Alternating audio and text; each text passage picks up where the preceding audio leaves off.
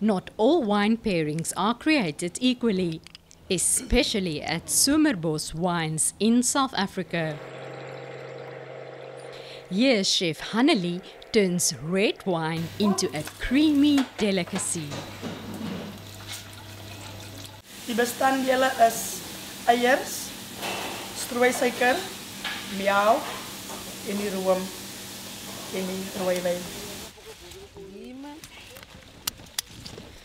Somerbosch is the only South African wine estate making ice cream from their own red wines.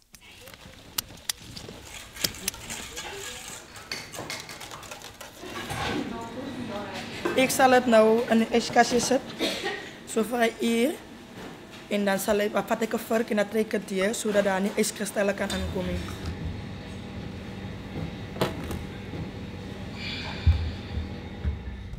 While traveling in New Zealand, restaurateur Landa Roux came across this divine idea. Almal hier voor my neer, sit jy kan daai goedjies dalk wegvat. Van Shiraz. Wat is hierdie? Merlot Merlot Shiraz Shiraz Cabernet. Cabernet. Okay. The idea is to taste the wine with the corresponding ice cream. Uh, I will first show you the Merlot wine, which has uh, typically uh, plum character and some cacao as well. And hopefully, this is what people will pick up in the ice cream as well.